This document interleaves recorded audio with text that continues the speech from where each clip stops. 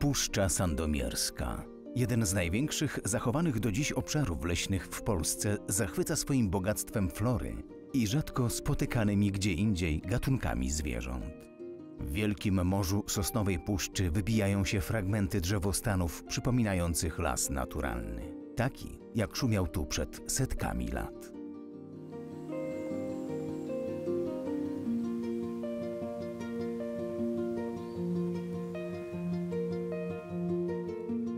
Dzisiaj na piaszczystych glebach Kotliny Sandomierskiej przeważają bory sosnowe. Przykładowo w nadleśnictwie Kolbuszowa zajmują one niemal 74% drzewostanów. W sąsiednich nadleśnictwach Mielec i Głogów Małopolski udział sosny jest jeszcze większy i przekracza 80% drzewostanów. Pozostałe gatunki to głównie dąb, olsza, bóg, jodła, grab oraz brzoza.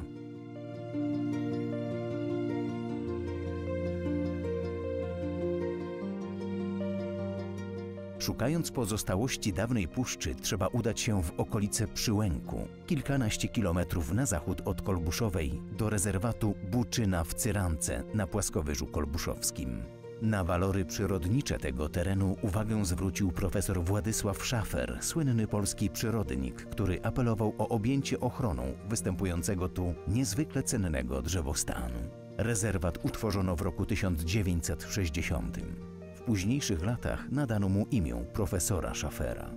Potężny las bukowy stanowi enklawę w Morzu Sosen, przypominając o drzewostanach, które tu kiedyś dominowały. Tak dorodną buczynę rzadko możemy spotkać nawet w Bieszczadach czy Beskidzie Niskim.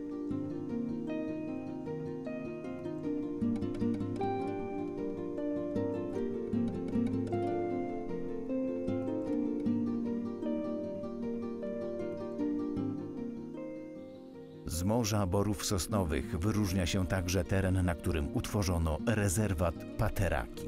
Znajduje się on na północ od Kolbuszowej, kilka kilometrów od Majdanu Królewskiego.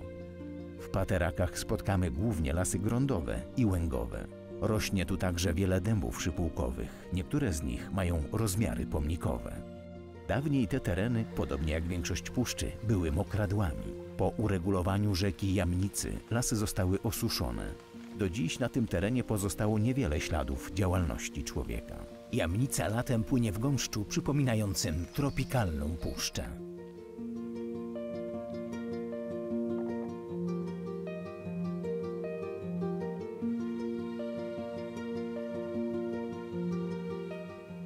Kolejne rezerwaty chroniące pozostałości dawnej Puszczy Sandomierskiej to Jaźwiana Góra, niedaleko Majdanu Królewskiego i Bór, położony na południe od Głogowa Małopolskiego.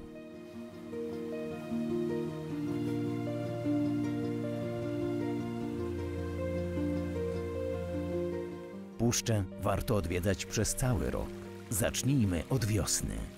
W marcu, kiedy stopnieją śniegi, zaczynają pojawiać się pierwsze kwitnące rośliny runa leśnego. W większości to geofity, takie gatunki, które wyrastają, kwitną i owocują zanim na drzewach pojawią się liście, które uniemożliwią dostęp promieni słonecznych do dna lasu. Jako pierwsze pojawiają się śnieżyczki, przebiśnieg, żywce gruczołowate, przylaszczki, a także podbiał pospolity i knieć błotna.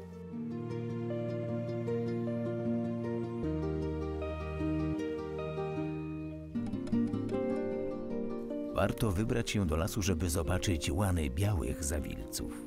Piękne kobierce tworzy też kokorycz z białymi albo różowo-fioletowymi kwiatami.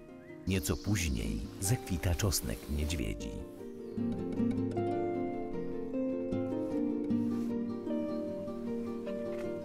Wiosenny las rozbrzmiewa śpiewem ptaków, które łączą się w pary, zakładają gniazda i wychowują młode.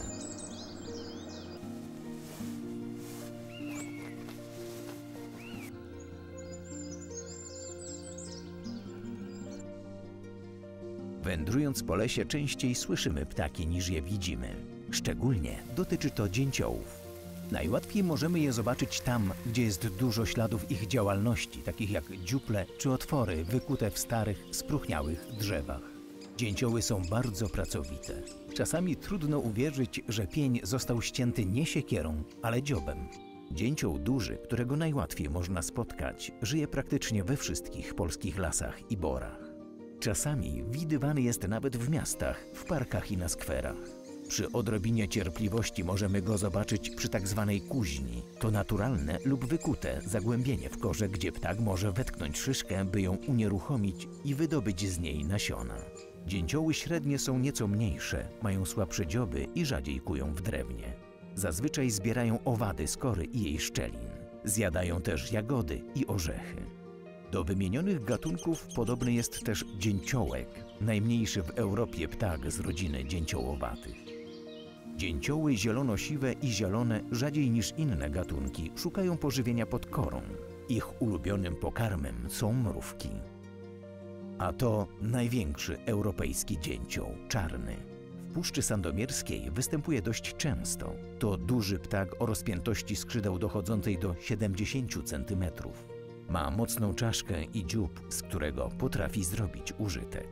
Ale nie tylko dzięcioły szukają pożywienia w korze drzew. Swoje stołówki mają tu również kowaliki oraz sikory.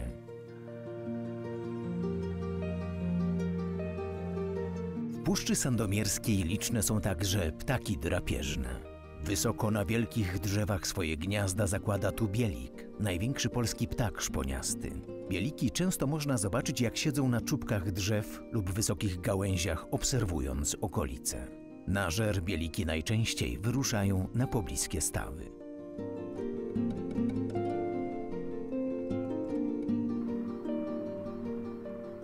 Występują tu także inne ptaki drapieżne, między innymi jastrzębie, krogulce i myszołowy, a także sowy z rzadkim puszczykiem uralskim i suweczka, najmniejsza polska sowa.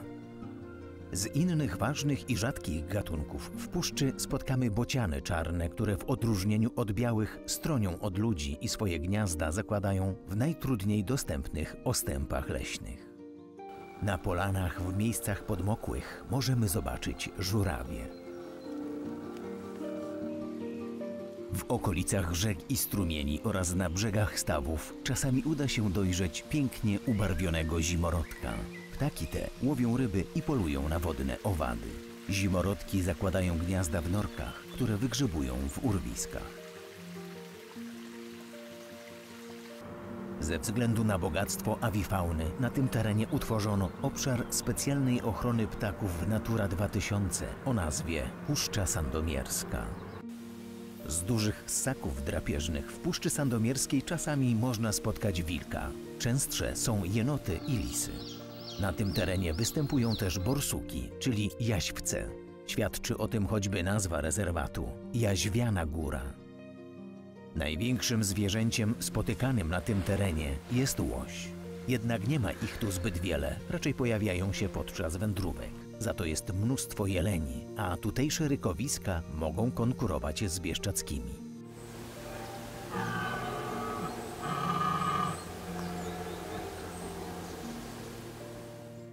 Najczęściej spotykanym dużym ssakiem jest sarna.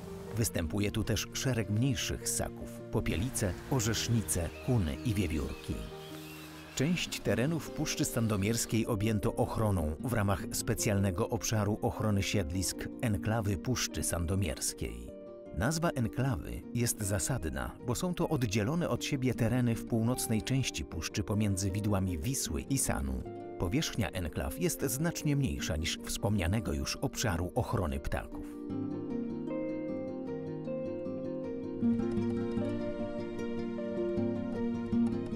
Jednym z najcenniejszych gatunków na tym terenie jest pachnica dębowa. To jeden z najbardziej chronionych owadów w Europie. Jest gatunkiem wskaźnikowym. Jego obecność na danym terenie może stanowić podstawę wyznaczenia specjalnego obszaru ochrony siedlisk sieci Natura 2000. Pachnica określana jest jako gatunek lasów pierwotnych. Ponieważ praktycznie ich już nie ma, więc gatunek ten spotkać można w dziuplach starych dębów i lip. Nazwa pochodzi od feromonu wydzielanego przez samce w okresie godowym. Ma on silną woń wyczuwalną nawet przez człowieka.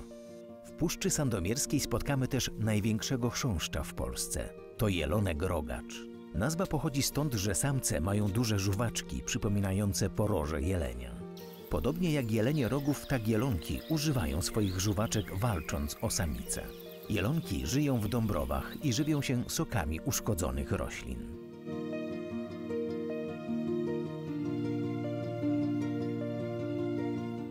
Wędrując w różnych miejscach puszczy można zobaczyć szybko poruszające się chrząszcze z rodziny biegaczowatych. Nazwa tej grupy owadów doskonale oddaje ich sposób przemieszczania się.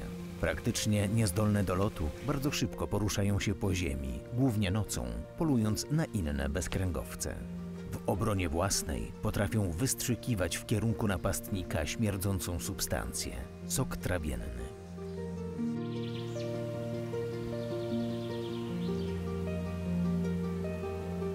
Maju w Puszczy Sandomierskiej zakwita jej najsłynniejsza roślina azalia pontyjska. Co roku w maju tysiące osób przyjeżdżają do Woli Zarczyckiej w gminie Nowa Sarzyna, żeby zobaczyć jedyne w naszym kraju naturalne stanowisko tej rośliny, zwanej też różanecznikiem żółtym. W maju krzewy pokryte są bujnym kobiercem żółtych kwiatów. Ich intensywny zapach można wyczuć z odległości kilkuset metrów. Zdaniem naukowców stanowisko azalii to relikt sprzed kilkunastu tysięcy lat. Jak azalia pontyjska, roślina azjatyckich gór, znalazła się na polskich nizinach, do końca nie wiadomo. Prawdopodobnie w okresie trzeciorzędu ta roślina porastała całe Karpaty i w jakiś sposób udało jej się szczęśliwie przetrwać w karpackiej ostoi epokę lodowcową. Ale są też inne hipotezy, niektóre połączone z legendami. Najsłynniejsza mówi, że nasiona azalii trafiły tu z zagonami tatarskimi.